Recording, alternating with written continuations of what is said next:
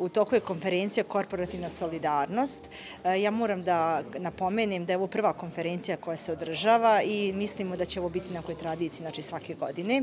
E, ono što je važno, kao organizacija koja broji najveći broj mladih i volontera, pomirili smo jednu ljestvicu u saradnji sa našom e, Miladom, pomirili smo ljestvicu ovaj, naprijed i organizujemo sad i vrijeme da se radi konferencija. Znači,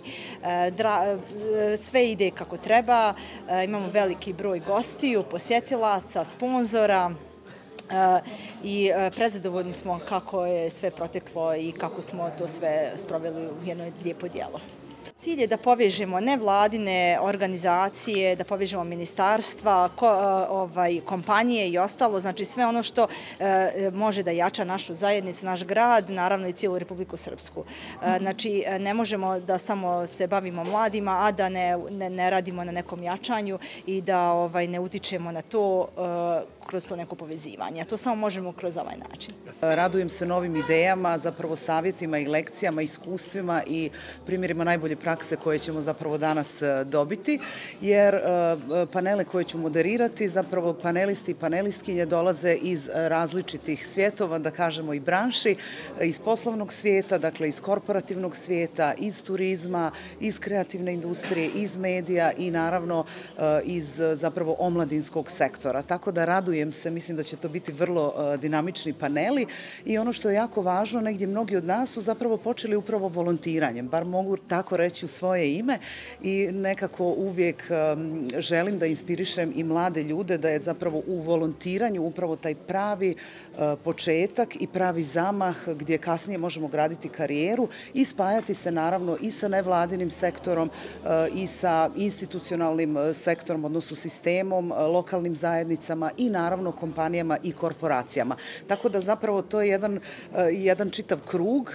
zapravo jedna sinergija gdje mladi treba da uđu u taj svijet i mi im zapravo pomažemo i e, govorimo njima koje su prednosti i tako isto naravno e, svijetu korporacija koje su prednosti zapravo uključivanja mladih u svoje sektore. Kada smo počeli sa razvijanjem programa ovdje u Domu omladine imali smo viziju da ovo bude jedan dragstor za mlade gdje će se dešavati veliki broj i kulturnih i kreativnih i volonterskih i raznih drugih programa. I mogu da kažem, evo sa ovom konferencijom večeras da, kao što i Nevena spomenula, idemo jednu ljestvicu više razgovaramo o tome kako uključiti mlade, kako im biti podrška kroz jedan cijeli sistem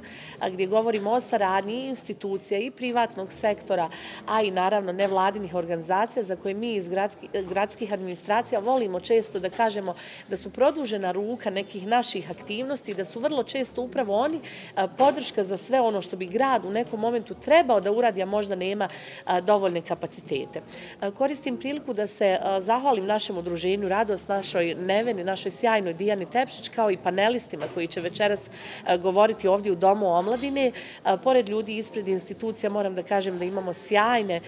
goste iz privatnog sektora. Ovo je jedna od rijetkih prilika gdje će mladi ljudi moći da razgovaraju sa njima, da čuju njihove inspirativne govore kako su krenuli, na koji način mogu da im ponude saradnju i ono što nam je u konačnici bitno,